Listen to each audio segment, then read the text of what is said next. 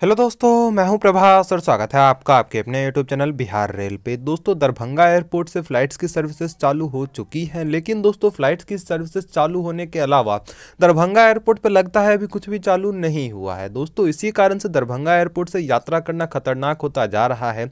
दोस्तों, यहाँ पे खतरनाक से मतलब जान का खतरा से नहीं, बल्कि आर्थिक रूप से खतरे से है। दोस्तों, दरभंगा एयरपोर्ट पर कई ऐसी सुविधाएँ हैं, जो कि अभी नहीं दी जा रही है। उसी में से एक प्रमुख सुविधा है पार्किंग की सुविधा की। दोस्तों दोस्तों अभी यदि आप दरभंगा एयरपोर्ट से यात्रा करना चाहते हैं और यदि आप अपने वाहन से दरभंगा एयरपोर्ट तक जाते हैं तो आपको जो अपना वाहन है वो सड़क किनारे ही रखना होगा, जहाँ पे कोई भी सुरक्षा नहीं है, कोई भी व्यक्ति आपका वाहन चोरी कर सकता है। दोस्तों, आपको अपनी स्क्रीन पे दरभंगा एयरपोर्ट के बाहर की एक तस्वीर दिख रही होगी, जिसमें आप देख सकते हैं कि किस तरह से असुरक्षित तरीके से वाहन को दरभंगा एयरपोर्ट के बाहर में लगा दिया गया है।